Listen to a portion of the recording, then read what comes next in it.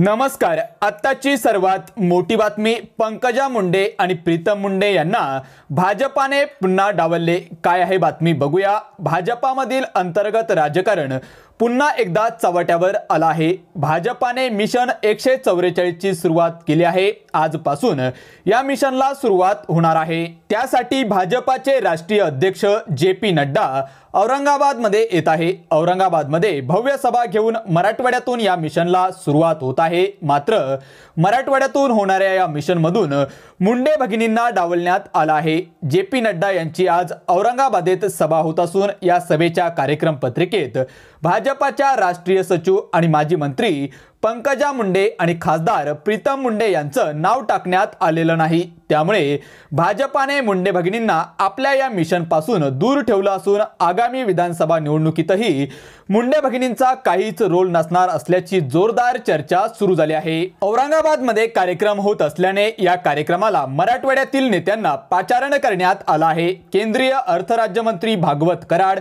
आणि केंद्रीय रेल्वे राज्यमंत्री रावसाहेब दानवे यांचं नाव या कार्यक्रम पत्रिकेत आहे. मात्र मराठवाड्याच्या नेत्या असूनही पंकजा मुंडे आणि प्रीतम मुंडे यांना डावलण्यात आल्याने आश्चर्य व्यक्त केलं जात आहे. त्यामुळेच आता पंकजा मुंडे आणि प्रीतम मुंडे यावर काय प्रतिक्रिया देणार हे पाहणं तितकंच महत्त्वाचं ठरणार आहे.